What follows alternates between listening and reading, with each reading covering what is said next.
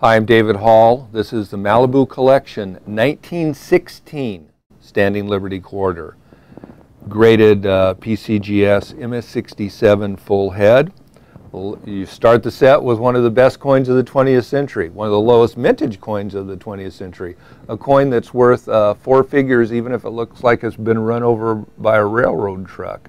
On the other end of the scale, the highest, highest possible quality rating, MS67 full head, and you have the Malibu specimen, sharing that with uh, four other coins. Okay, so this is one of the there is 167 plus. This is one of the uh, two or three finest known Standing Liberty, uh, 1916 Standing Liberty quarters.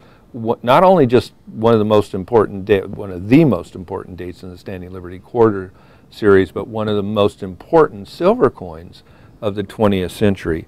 This specimen has just incredibly clean surfaces.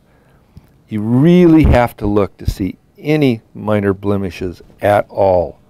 The obverse luster is frosty and iridescent. What a great look. Uh, the head and shield detail, very strong for this issue. Obverse has a tinge of light uh, golden toning about the peripheries. The reverse, again, frosty luster under peripheral sea green toning.